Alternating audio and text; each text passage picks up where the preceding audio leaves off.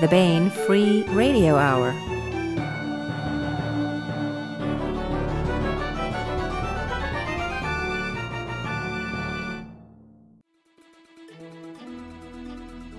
On the podcast, large burning thing sighted at the center of the inner solar system turns out to be self-sustaining natural phenomenon and not a one-off after all.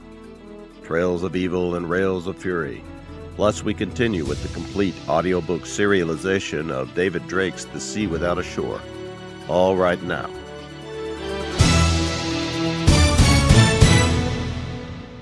Welcome to the Baen Free Radio Hour podcast. It's an honor to have you along. I'm Baen editor Tony Daniel. This time we have an interview with Dr. Travis S. Taylor. Travis talks about his new book in the Tau Ceti Agenda series, Kill Before Dying.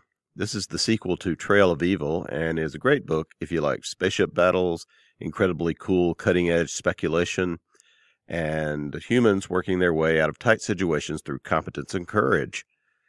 If you don't like those, then probably won't like the book. And we also continue with the complete audiobook serialization of The Sea Without a Shore by David Drake. Now here's the news.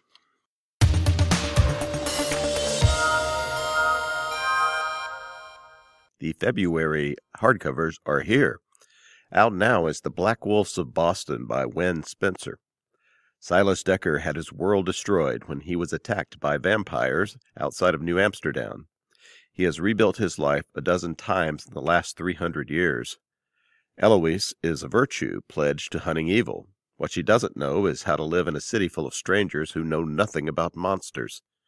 Seth is the 16 year old Prince of Boston, ward of the Wolf King, but now the Wolf King is missing. Then there is Joshua, who believes he is a normal high school senior. His life is shattered when he wakes up in a field covered with blood and the prom committee scattered in pieces all around him. These four must now come together to unravel a plot by witches who gain power from human sacrifice and have the ability to turn any human into their puppets. Sounds delicious. Also out in hardcover is Kill Before Dying by Travis S. Taylor. Humanity takes to interstellar space to face conflict and an extermination threat from an artificial intelligence and an alien menace from beyond. We'll talk more about this great science fiction military adventure story coming up. The Black Wolves of Boston by Wen Spencer and Kill Before Dying by Travis S. Taylor are now available at booksellers everywhere.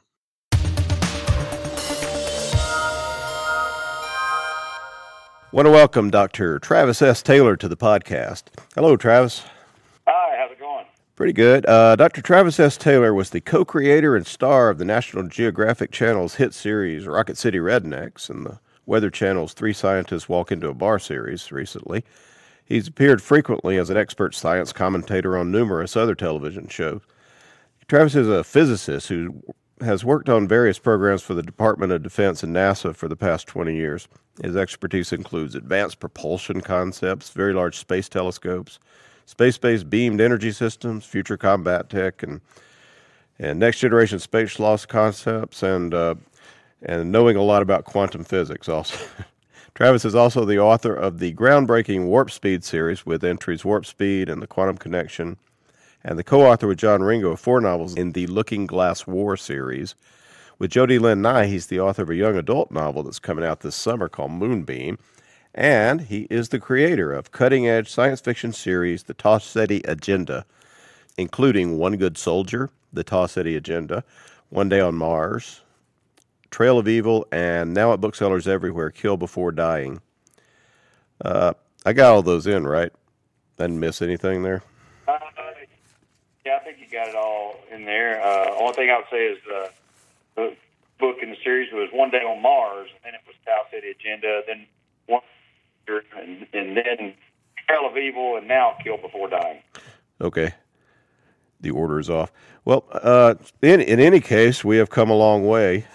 from uh, the first book in the series, um, and a long way from the solar system physically by the time uh, Kill Before Dying opens. Can you kind of give us a background on the series? Can you catch us up where we are in the story?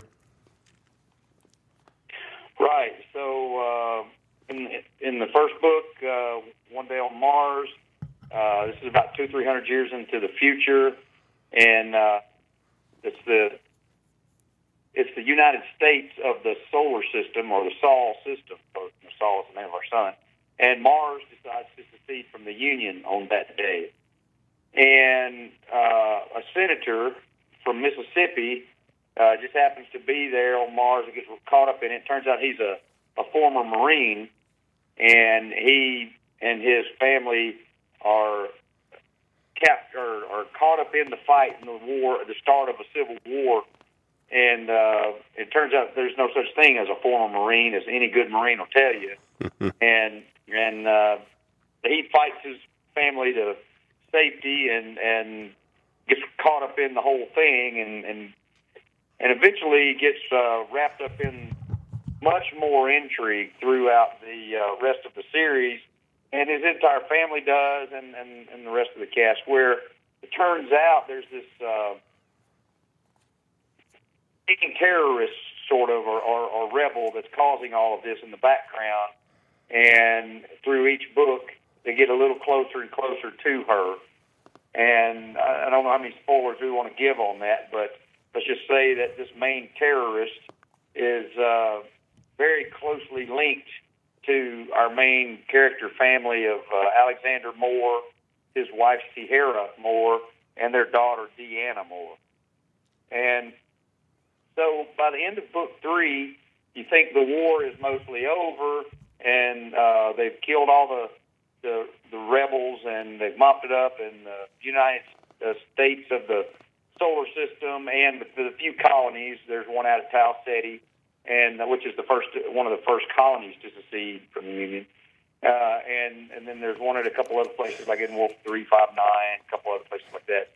And you uh, you think it's all wrapped up, but you find at the beginning of Trail of Evil that this war was just a, uh, a part of a plan to prepare my, mankind for something much more, much more sinister, and that the uh, this this terrorist that had all this was leading us along a trail of evil through history uh, to be prepared for what was really coming, which was an alien invasion, the likes of which uh, even John Ringo uh, doesn't write about. well, they seem pretty nasty. Um, but tell us a little bit more about Moore, Andrew Moore, as a as a man. You he's been your main character. He's heroic. He's got an iron will, um, and you took the title. Alexander Moore. Alexander Moore. I'm sorry. Uh, it, you took the title from the book from something he says. Uh, actually, the title to uh, you talking about the title "Kill Before Dying." Yeah, yeah. Yeah, well, no, it's not something Alexander says. It's a conversation. So Alexander is after he's he becomes the leader of of the United States during the Civil War. Once the Civil War's over, he's no longer the leader, uh, meaning he's no longer president. But he he was a a Marine, and he's got to finish this fight, and he's so closely linked to it, and so is his family that he takes on commission as a uh, uh, a full up uh, commander of the of the defense forces uh, general, and next the stars to find this follow this trail of evil, and then to be the first line against this alien invasion. Well, and in in the end of Trail of Evil, and I don't want to give too much of it away, but uh, Deanna Moore is. And one of the other main characters that throughout the series is uh, a super awesome fighter mecha jock named uh, uh, is Commander or cap, at this point he's captain already, Captain Jack uh, Death Ray. And uh, Death Ray and Deanna get so wrapped up in the conflict that happens in Trail of Evil that uh, that they're hurt really bad, both physically and emotionally and Death Ray makes the statement at the end that they don't have time to die because they got told about these aliens, and he uses some, uh, uh, uh, you know, very graphic language to describe them. That they plan to. There's a whole bunch of these aliens that they have to kill before dying. Oh, so it's Death Ray that that says it. Yeah. Yeah, he's a great character. He's he's also found in in this book. Um, so, well, tell us a little bit about more, uh, more. Tell us a little bit more about Alexander. Um, he's really developed. Um, I mean, he he was a politician when he began, but he's become uh, a bit of a you know a great man of human history at this point, right? Right. Well, you don't realize uh, in the first book uh, all of the details in the background about Alexander Moore. Uh, you know, they're from Mississippi, and he's married to a, a Martian, and of course, by Martian, this is a human that was born on Mars, and uh, and they have a daughter, and you only know that he was a Marine during uh, the beginning of the uh, first sort of separatist movement on Mars, say 30, 40, 50 years before he was a senator, and and it, and apparently he went through some really bad stuff, and this evil terrorist person who was leading this actually physically tortured him uh, in torture camp during the background to all of this. And this happened 30, 40 years before the books. And so you get the impression that Alexander Moore was really tough in his day. And then you realize he, or he's there as a politician. When it's time to not be the politician and be the, the super awesome badass to protect his family, he comes back to being there's no such thing as a former Marine, and he starts kicking butt. And then, as he evolves in the second book, you, you begin to get more and more about his background history, and you realize that he was an awesome soldier then, and he gets put into situations, even as a politician, where he has to stand up and fight for his life, and indeed fight for his family's safety. Uh, and and each time he does so, he does it like nobody but Alexander Moore could. And he evolved on into this new series. You know, he starts out, you know, he's General Moore now and not politician Moore. And anytime there's a problem, his troops are getting overrun, his daughter's trapped uh, in a bad situation. The, there's there needs to be some snowflake to create an avalanche that turns the tide of a battle. Alexander wades in where God's fear to tread and turns the tides of the battle. And uh, he he really is uh, that soldier of history, that man of history who is who without Alexander Moore, it's likely that uh, humanity is going to get wiped out by this uh, oncoming alien invasion. So I take it that you you sort of, at least in the book, subscribe to the uh, the great man theory of of history to some extent. Yeah, well, I mean, you can go back and uh, look throughout history and find, you know, great men that uh, history wouldn't have necessarily been able to be turn out the way it that particular great men, whether they were great men of intelligence, great men of physical capabilities, great men of strategy, uh, you know, whatever that is. Great men that can endure things. You know, for example, we might not have ever known that the POWs in Vietnam were being tortured.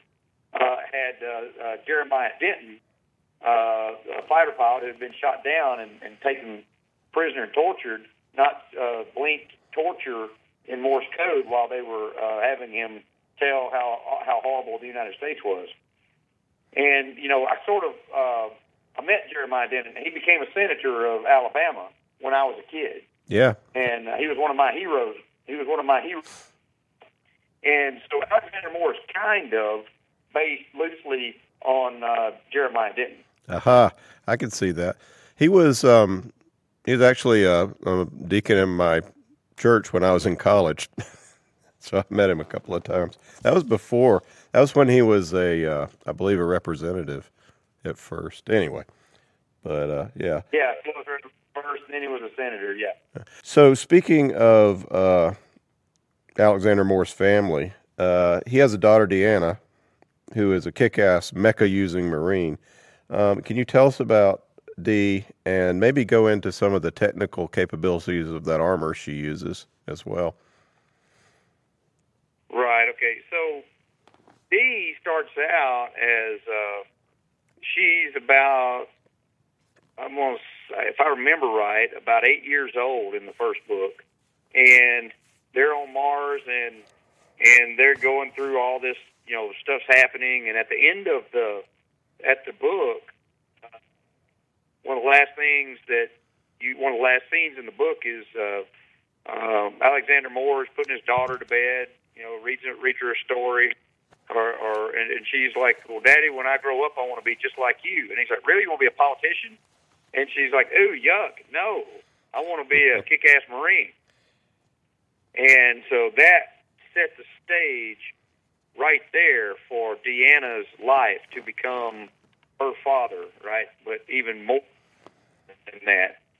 And uh, so, in, as each book is about six years apart, and so by the time we get to uh, Trail of Evil and then now Kill Before Dying, uh, Deanna is a, a full up adult. She is now um, Major Moore, and uh, as her father once had been back during the uh, what we call the Martian Desert, he was being tortured, uh, as I mentioned earlier. And so now she's at the pinnacle of her, you know, young first career as a Marine fighter, me- uh, mecha fighter pilot.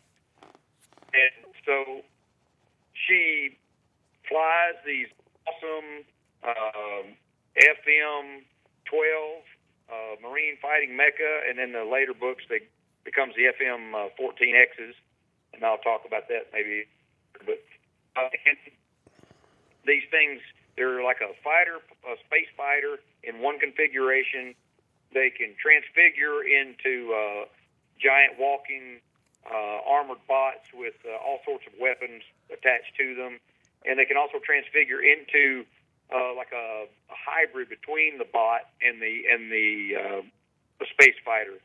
That's called. So there's bot mode, there's fighter mode, and there's eagle mode. And, and it looks. Think of it like an eagle, where it has hands and feet, but also the wings. So it has kind of same uh, capabilities as a fighter and the bot. There's a mix of the fight, flight envelope. But now, but beyond that, each individual Marine uh, suit. So they're called AEMs, Armored Environment Marine, uh, Armored Environment Suit Marines, which basically is powered armor, but uh, powered armor that's got all sorts of uh, connectivity and things that you wouldn't think of. They have direct to mind interfaces.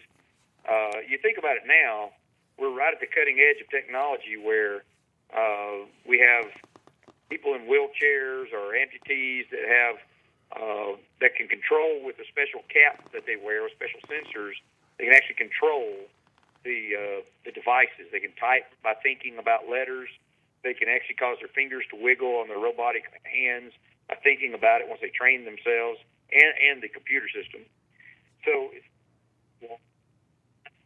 interface is the norm, and it'll be like a smartphone for everybody. You know, instead of having a tactile interface you have a screen and buttons to push, it's all inside your mind. It goes directly to your thought process. Your heads-up display is in front of your your eyes, where only you can see, and you can hear the interface. It's so much more efficient, and they this allows for much more precise control of the weapon systems, of flying their spacecraft, uh, the fighter craft, and it makes combat such a dizzying pace that um, you would these people wearing these armor and having this capability would seem superhuman. They also have. Um, I mean, I want to talk about it later, but there's a there's an AI that's part of the uh, the powered armor as well. Yeah, I'll, I'll, yeah. So let me before I get to the AI, the one more thing I would add to the armor is uh, the engineer the the flagship called the Sienna, USS Sienna Madira, um, and that engine, chief engineer is uh, uh, Commander uh, Joe Buckley Jr. He has invented a type of barrier shield that first they could only do in small parts on the uh, the main battleships. Took too much power, and then each book it kind of evolves. and now it's actually even on the individual fighters and on the individual armored suits, and it can and it makes the armor withstand much more impacts and, and damage, and so it makes them even even tougher. Yeah, and so yeah, the uh, artificial intelligence from very early on, the first uh, book, the uh, inside everybody's brain, uh, just their ear, little sunflower seed sized component. That's a, uh, a quantum uh, supercomputer. And uh, inside that, that quantum supercomputer is an actual artificial intelligence. Now, and it's not just a made up artificial intelligence. And, and you can say, well, you know, we've been using that for years. But the point about this is you are not going to get an intelligent machine most likely just by adding connections. Like the internet's never going to come to life like Skynet because it's just a bunch of connected data packets running together without its own um, mechanism for creating non-computational uh, solutions, meaning everything that uh, and connected to it has to follow certain calculation rules. Well, in quantum computers, that's not the case. Computers actually come based on the rules of quantum mechanics. That uh, sometimes the the answer is. And I know it sounds weird, but let me explain it. Say that again. Computation. You you dropped out your main point there. Hunt say it one more time. The answer is sometimes.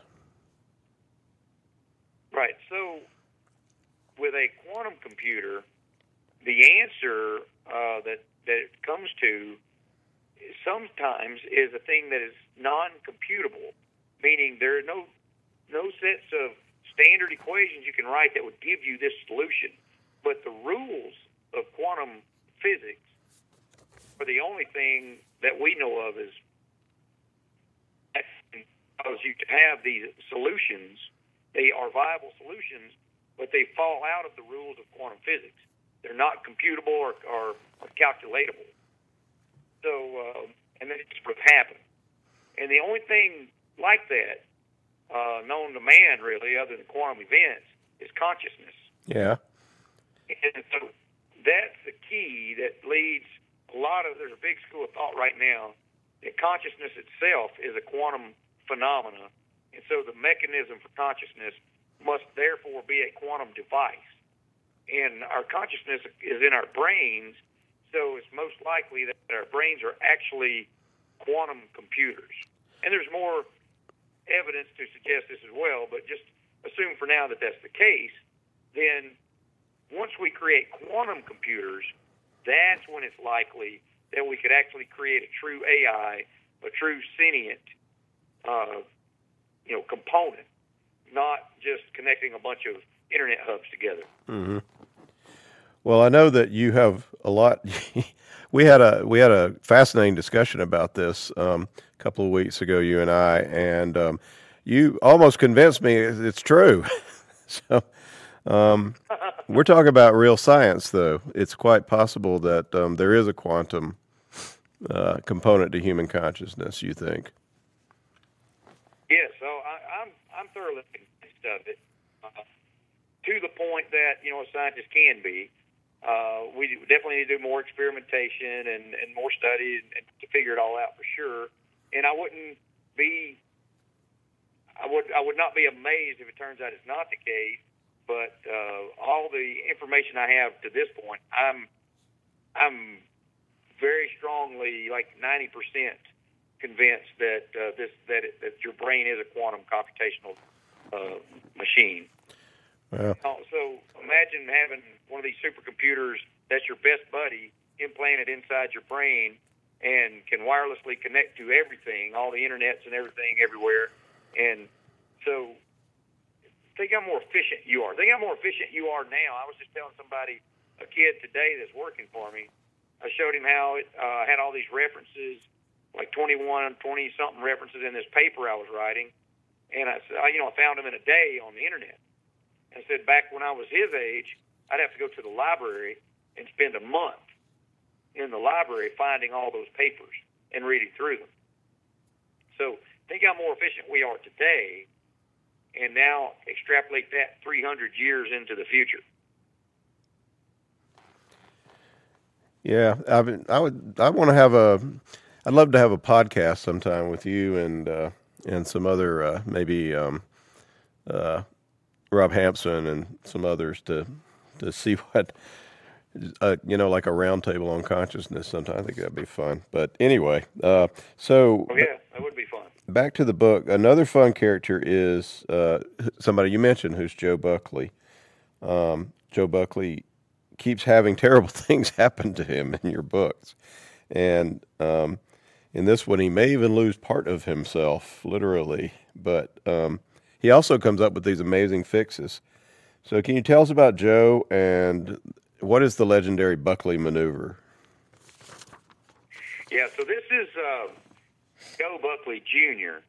Now, his father was a, uh, a technician, a petty officer, first class, if I recall, uh, in the first book, One Day on Mars, working down in the his job was to be in charge of all the fluids flowing around this giant super carrier that's you know three or four or five kilometers long, kilometers wide, uh, you know, t- 10,000 people living on it all the time.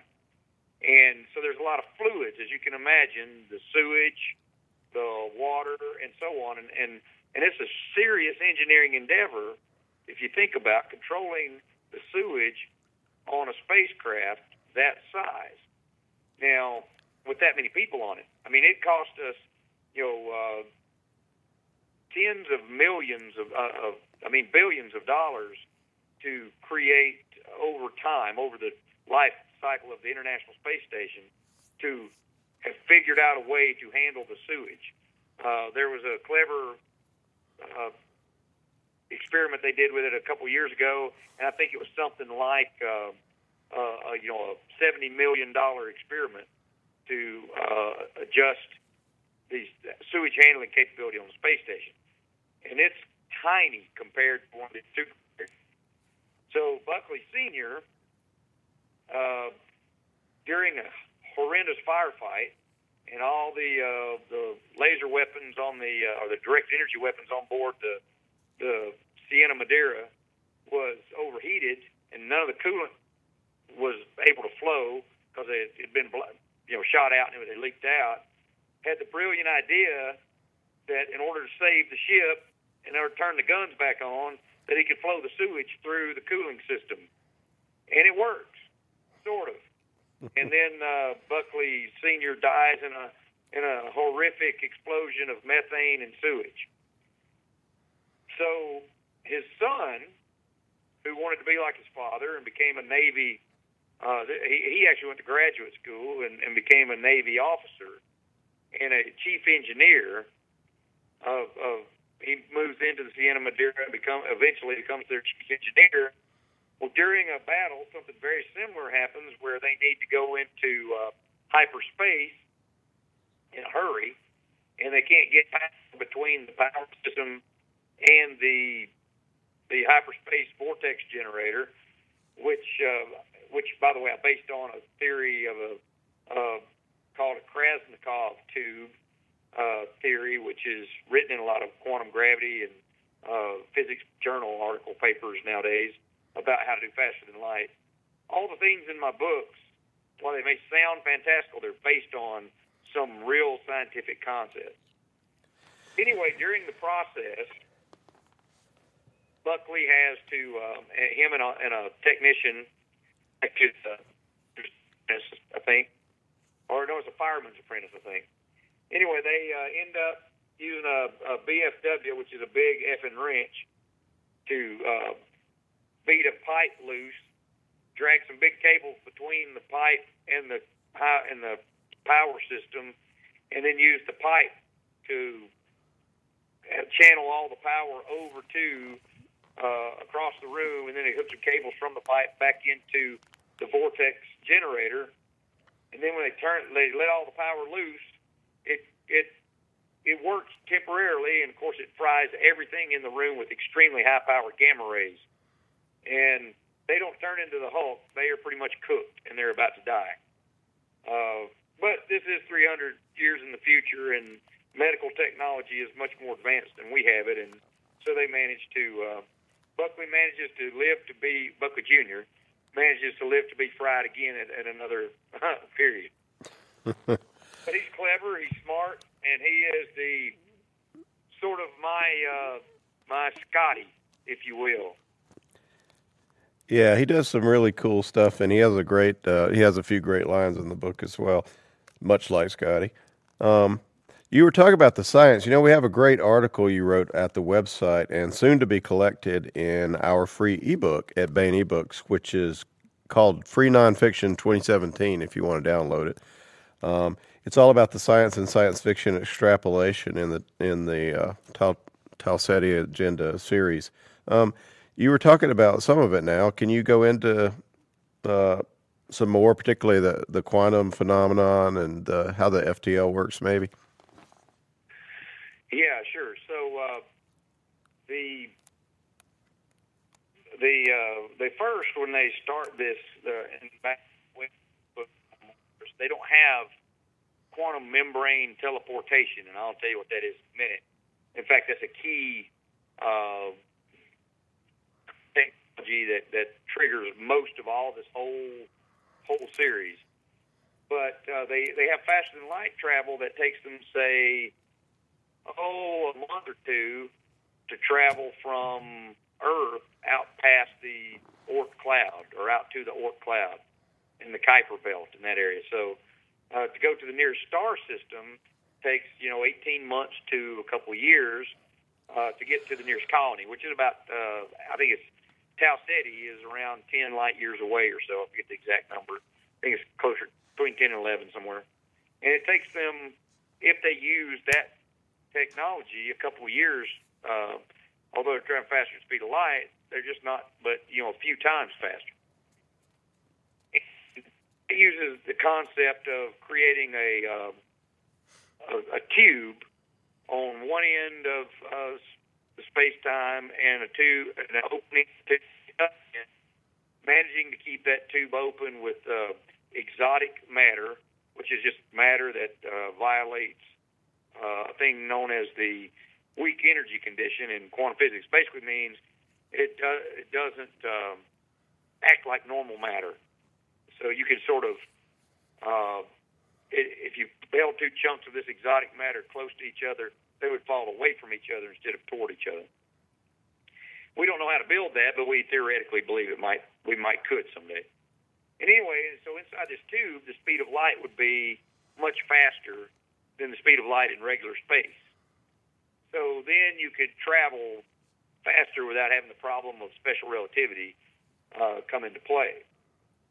Now, in order to really get there fast, they used these. They invented this quantum membrane technology. So, quantum a membrane is uh, something similar to a, a string, except it's a membrane, kind of like the top of a drum, the snare of a snare drum, that tight material.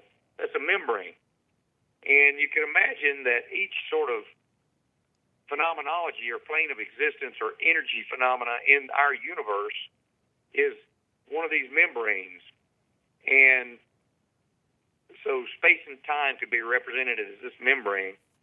And if you connect quantum phenomena uh, from one place to another, then you could uh, they're all there and keep them connected. Then things can happen between them instantaneously, no matter how far away they are. This is Einstein's spooky action at a distance. So there's a quantum membrane uh, teleporter that you have on one end, and then you use your your faster than light travel capability to take a, the other piece of it as far away as you can. Then what you do, you can instantaneously teleport between these two two components. Now, in the second book, they develop a way to sling forward uh, from a quantum teleportation pad uh, out, you know, a light year or two. And then you're still connected, so you have sort of a portable uh, quantum teleportation pad with you. You sling it forward, and then to get back, you snap back. Basically imagine it like you stretch a rubber band out, and then when you let it go, it pulls you, you yanks you back. And that's the sling forward and snap back algorithms that I talk about. Um, so they're basically stretching and and and snapping these membranes. So eventually, as the technology gets better and better, they uh, figure out how to use that to travel faster than using the hyperspace systems by slinging forward and then stopping and then slinging forward again and slinging forward. And, and once you've ever been anywhere with these quantum teleportation pads, that coordinate system is then connected to that teleportation system, and you can go back to that. It becomes a hub, sort of like an internet hub. You can bounce to it whenever you want to. And this is how they set up a mechanism to travel much deeper into space without it taking years and years and years and years. And then in Trail of Evil, they actually find some of these that are extremely, extremely far uh, away from where we thought mankind had been. And I don't want to give too much of that away because that's kind of a fun hidden story. But um, the bad guys that, had placed them, or the actual the bad guy who was really sort of a good guy, setting humanity up for this invasion, was setting these nuggets uh, of technology out through uh, the local, feeding us toward the invasion, so we could greet the invasion before it gets to actual our home world. Well, let's um, let's talk about where we open with um, with um, Kill Before Dying. So, Alexander Moore has is meeting an alien commander, at least meeting by a quantum communication, who um, just kind of set up the book. Who gives Moore a job for humanity in fighting this this menace? Are they called the Chiata? Uh, yeah, the Kiata. Kiata. Like uh, pronounced pronounced K E Y uh, A T A, Kiata. So this, so, uh, almost like pinata, except it's Kiata. Uh, so the Kiata, um, right? The the Kiata are the are these extremely super fast aliens that are, that the first time we encounter them in Trail of Evil, we can't even see them. They move so fast, our sensors can't even slow them down. They're blurs like Superman would be, you know. Uh, and they also have these uh, tendril-like, uh, uh, spear-headed ten- tendrils that shoot out from them and capture their prey uh, or kill their prey, wrap them up, entangle them, slow them down, whatever. They have uh, shields and weapon systems, but what they don't have is the quantum teleportation technology. They have standard hyperdrive kinds of systems, the, like the vortex tube I'm talking about, but they're much faster than ours, but nowhere near as fast as the quantum membrane teleportation. That's our only saving grace, our only force multiplier. But at the beginning of Kill Before Dying, uh, at the end of the previous book, we had gone and had our first engagement with the Kiata, and the Kiata kicked our ass. So we're uh, we come back and we lick our wound. Some allies uh, which I won't go into yet because it'll give a bunch of things away, uh, managed to link us to this alien race that is in the Kiata for millennia. And they tell us that there is a star system not too awful far from where humanity was, is able to reach, uh, something like 700 light years from Earth. And these at this star system, the Kiata have not chewed this star system up for resources or made a habitat out of it like they usually do. There's something special about the star system that they nobody that even these advanced aliens have been around for millions of years longer than we have haven't been able to figure out what they what the deal is with the system because any time you teleport into one of these systems you can't get out. I mean into this system you can't get out. So you go there, you're going to be stuck. And so the um, Alexander puts a team together of volunteers, and they go out there with uh, super carriers and fighting mecha. And of course, his daughter and Death Ray are part of the fighter team. And they get there, and Dee manages to get herself uh, shot down and is stuck on this planet. And that's where uh, a lot of mayhem ensues. Yeah. Speaking of that, so a puking death blossom, what is that? Yeah, so I've been using puking death, death blossoms for the fighting mecha uh, since the very first book, and that's uh, actually it's paying homage to an old uh, TV show called The Last Starfighter that I watched when I was a kid. There's a thing in there, uh, a maneuver called a death blossom, Mm. where a space fighter into automatic mode and spins in every direction and targets everything in his path and fires at it. But he can only handle it for so long before it would kill the occupant pilot or uh, the system overloads. Well, the uh, actual Air Force and, and Navy and Marine pilots today call going into a flat spin during combat uh, a puking death blossom because if you survive when you get out of it, you're throwing up because you're spinning so wildly that your system can't handle it and have to recover from that so quickly that if you don't, you're going to die, either crash into the ground or get shot down. So I just extrapolated this into space, like uh, with the last Starfighter, but in this case, Puke and Death Blossom is planned. If you're in overwhelming numbers, you can put your mecha into a 360 degree random targeting spin and have your AI system uh, engage every target it can target with every weapon system you have, and it can turn the numbers game back closer to your favor. Problem is, most uh, the record, the average human can only last about 18 seconds in a puking death blossom, and uh, before they pass out, throw up, and gag and suffocate, and their suit has to bring them back.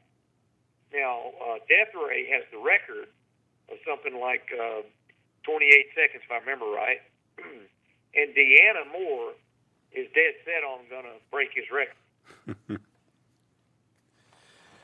Well, she she gets her chance to try. Um, what are some other weapons in the book? Can you, uh, especially like what the Kiatas uh, Blu-rays? Um, you explain the way it might work, and it seems super cool. Your explanation of their uh, of their evil rays. So, yeah, yeah, the Kiata have just these massive directed energy weapons that our fighter, our pilots, and our captains of our super carriers call blue beams of death from hell, or BBDs for short.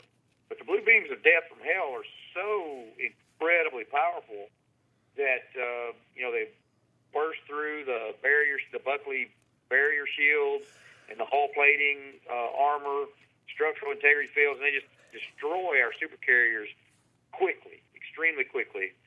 And not only that is you you can't even use things like an asteroid or something for cover because this directed energy beam can turn corners. Can do what? Big powerful blue beam, it can turn corners. Oh, okay. So um, uh, imagine this big blue energy beam that can zig and zag through space around debris until it gets to its target. And most people say, well, wait, light doesn't travel in zigs and zags, and you take a laser pointer and shine it across the sky, it goes in a straight line.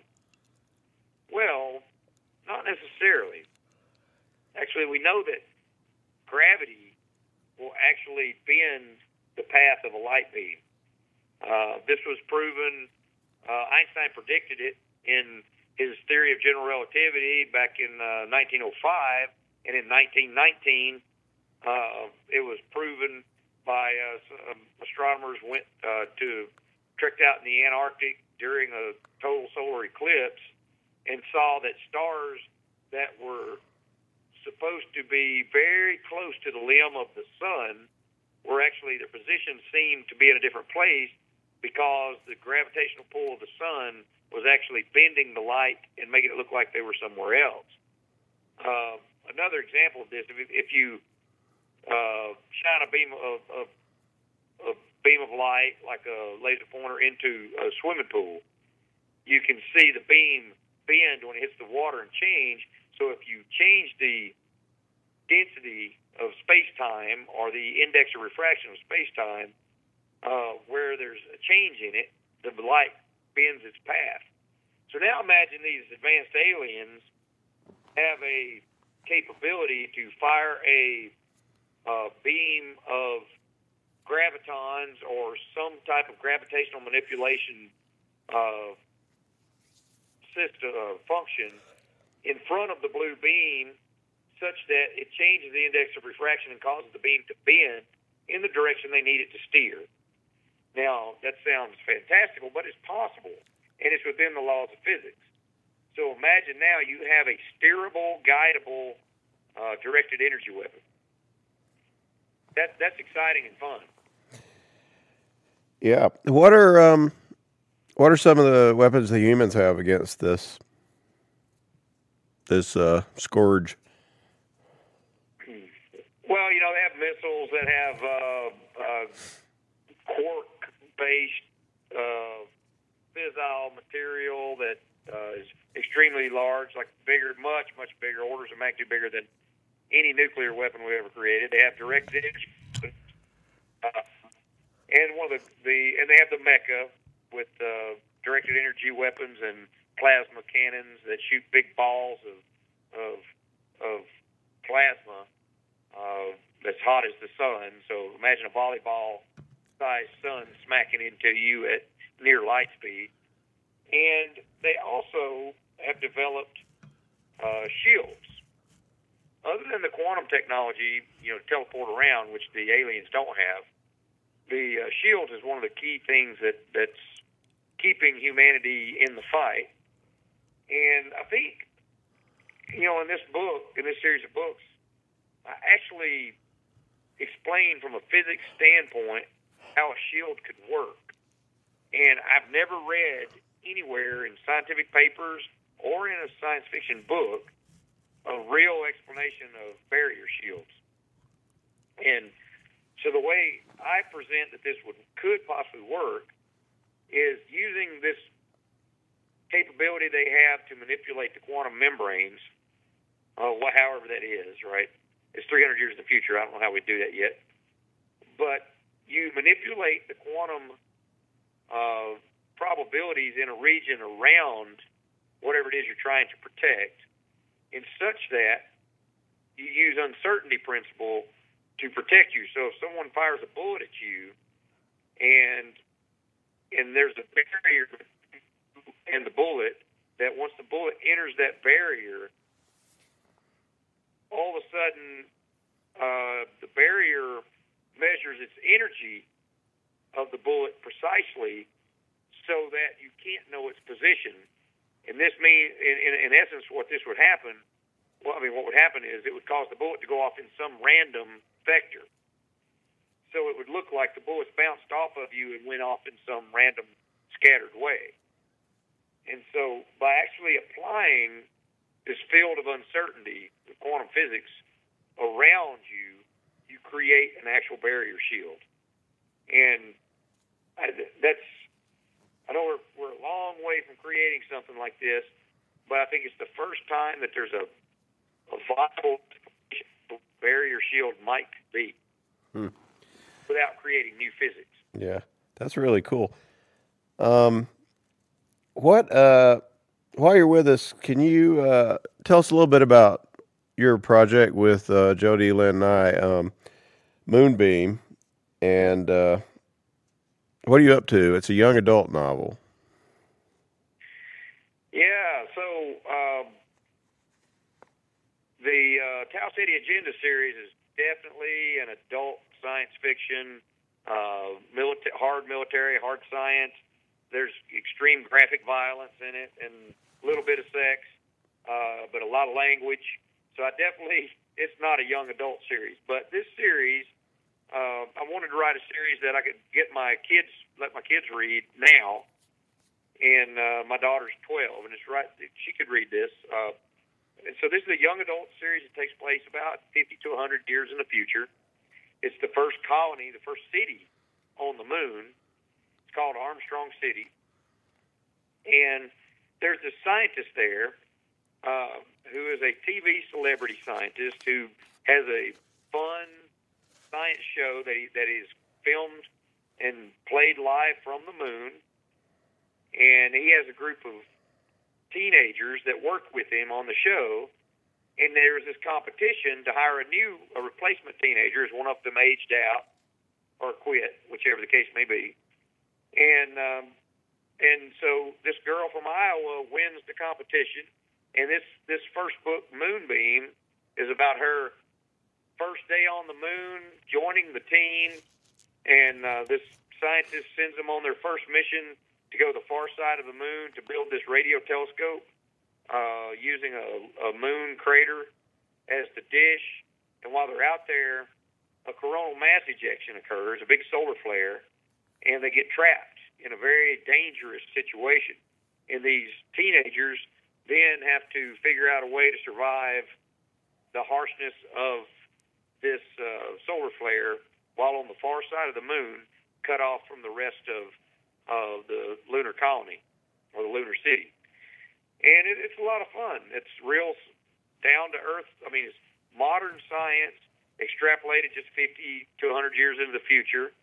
It's not aliens. It's not warp drives. It's living on the moon and and filming a TV show on the moon and doing experiments on the moon and being uh, a coming of age teenager uh, and a scientist and a and, and a mayor to a city. I mean, it's all and people on the moon, and you see what's going on. And I think it's going to be. If this one turned out really exciting, uh, I think uh, Jody and I really enjoyed doing it, and uh, we're looking forward to doing hopefully many more uh, with these characters. Do we have a name for a series? Well, right now, Jody and I call it the Moon Series. yeah. Um, uh, and every and our goal and our thoughts are that every one of the titles of the books will be like this one is Moonbeam. Mm-hmm. Uh, the the the, the sequel uh, will be about a great race around to cir- circumnavigate the moon. Uh, that our our teenagers and our scientists build the you know a, a race car to go in the race, and we're thinking about calling it Moon Tracks there's another reason for calling it moon tracks, but I don't want to give that away yet. Um, but it has to do with footprints. Hint, hint. Uh huh. Um, well, uh, what other Travis Taylor projects are afoot? What are you working on? well, I'm also uh, I'm, wa- I'm wanting to sort of wrap up this fight uh, with the uh, uh, the Kiata out in space with the Moore family and Death Ray and all those. So I'm also working on the uh, sequel to, to uh, uh, Kill Before Dying, which right now it looks like it's going to be called Bringers of Hell. And I'm almost done. I'm I'm halfway done with it. And as far as other projects, I also actually have a uh, in my day job. I have an experiment that's going on the International Space Station uh, within the next year, and so I'm spending a lot of time working on that. That's really cool. Can you There are a few. can you talk about it, or is it? Yeah, I can talk a little bit about it. There's um, um, a lot of people are using small, very, very small satellites to do things in space now, and by very small, they call them nano satellites. They're about the size of a loaf of bread or a 12 pack of soft drinks. And um, the problem is, we keep trying to use concepts for these big giant spacecraft that we've been using, satellites that are as big as a car, to control and and manipulate our spacecraft that are now the size of a loaf of bread. And it doesn't really work well. So I came up with a bunch of sensors and concepts and ideas that we could pack into a small experiment that's the size of one of these satellites but we want to be able to get data from it 24 7, 365 for a year to two years. In most cases, these little satellites burn out after a few months, and we only get a little bit of data from them as their orbit brings them around over a ground station.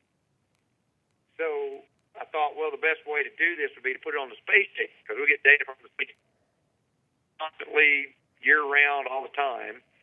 And so I'm going to put one of these little satellites on the back porch, so to speak, of the space station and get data from it continuously for a year to hopefully make our understanding and knowledge of how these little bitty spacecraft work in space. And it will make the next generation of these spacecraft better, and uh, we'll be able to understand them and control them better.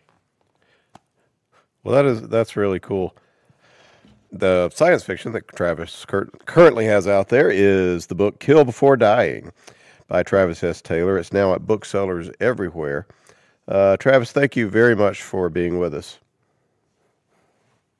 Hey, hey, you're welcome. Uh, I was going to plug one more thing. I just finished the second edition of my uh, international best-selling rocket science textbook for college, for undergraduate school, Introduction to Rocket Science and Engineering. It just came I just finished it. It'll come out uh, just in time for fall classes.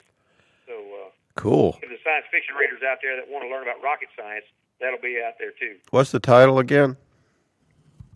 It's called an uh, Introduction to Rocket Science and Engineering, second edition, and uh, my publisher on that is uh, CRC Press. Wow, it's probably pretty useful for science fiction writers too to get a copy of that. Well, if you want to write about rockets, this is the introdu- It's written to be an introductory textbook for undergraduate students on how to build rockets. Well, that's really cool. Well, thanks a lot, Travis. Hey, thank you.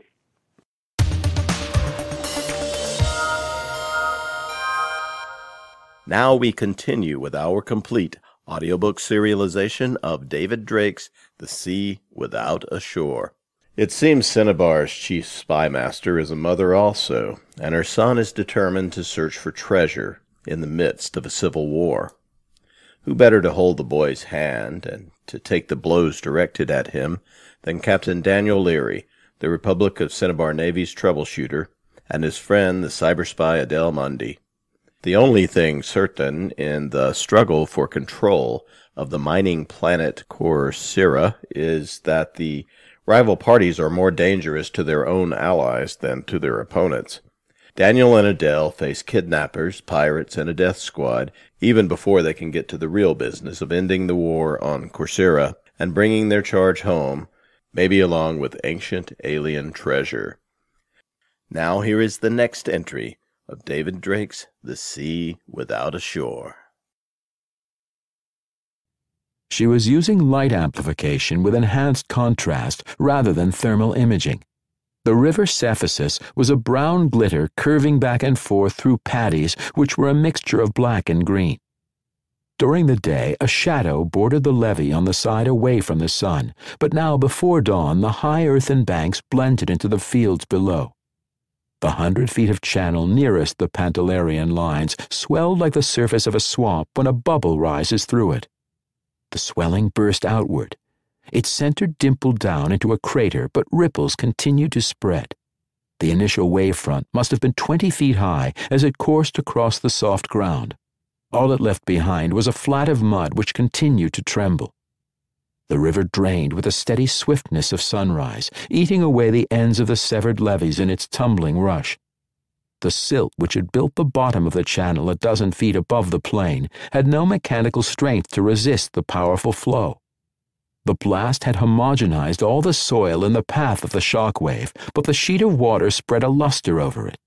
Is six all right? Vesey said. Were they clear? I didn't know what that was going to do. Adele raised her display's magnification. For a moment she couldn't find the truck which held the command group. I didn't know what the blast was going to do either. But then she cued the console to highlight movement. There was the truck, still right side up and racing directly away from the Cephissus. Adele would have had to raise magnification further to be sure that Daniel was still in the vehicle, but for now she could assume he was safe. The truck had been a mile from the charge and inside one of the channel's slow curves.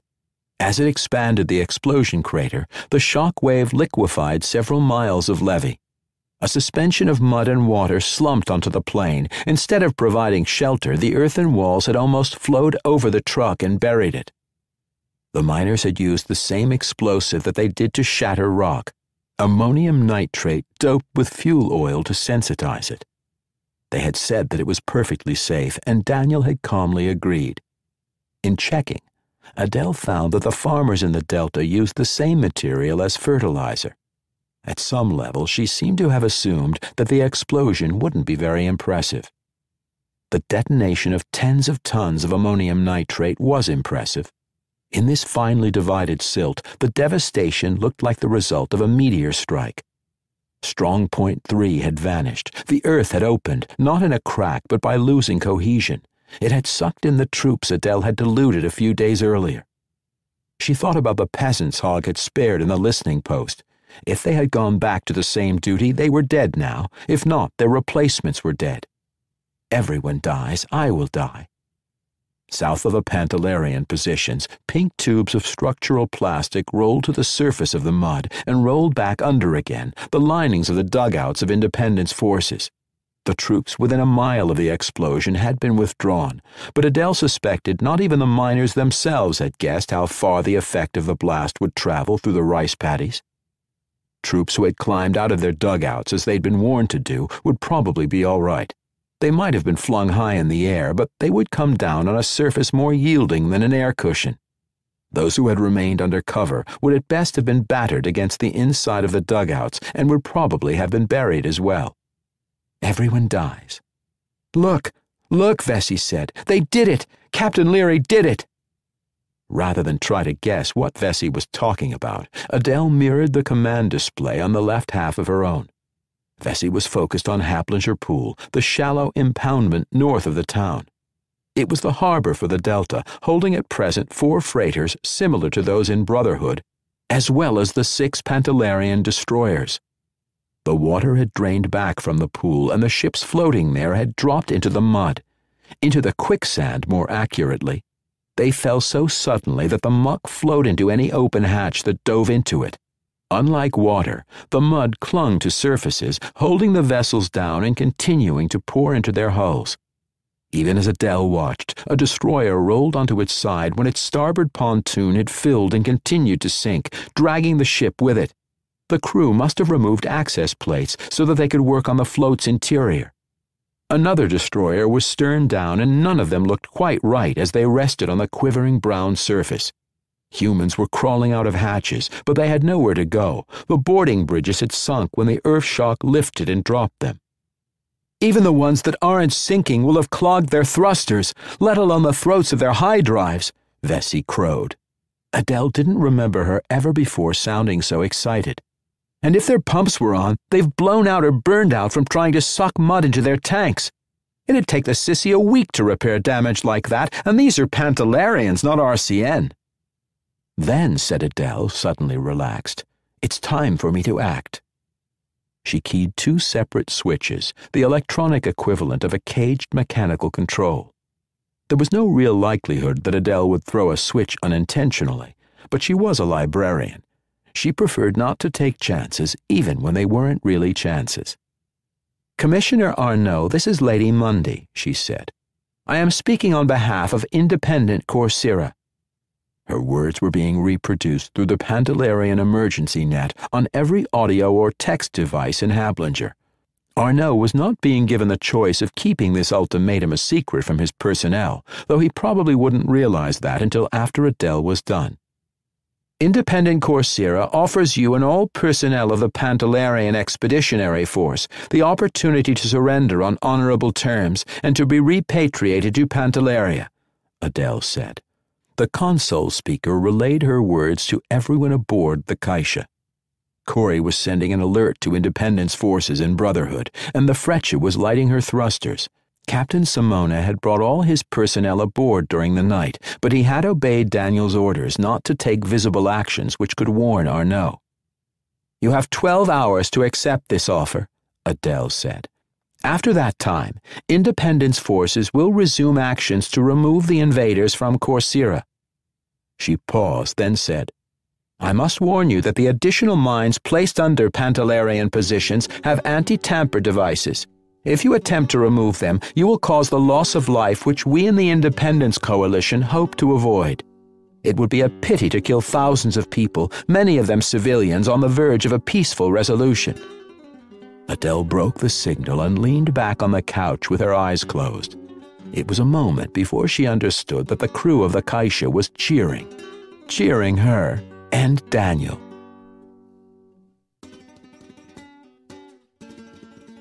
That was another entry in our complete audiobook serialization of The Sea Without a Shore by David Drake.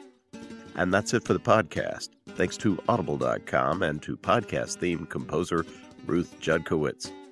And a Klein's bottle filled with moon juice and a slice of quantum entangled peach pie, which brings a little piece of heaven to every possible universe. And our thanks and kudos to Travis S. Taylor, author of Kill Before Dying. Please join us next time here at the hammering heart of science fiction and fantasy, and keep reaching for the stars.